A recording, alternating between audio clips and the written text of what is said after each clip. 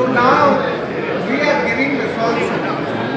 This for transfer of the river basin, one river basin to other basin, this is creating a war. This is creating a conflict.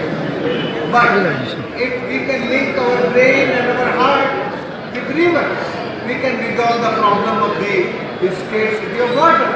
So now the need, first need is we can link our crop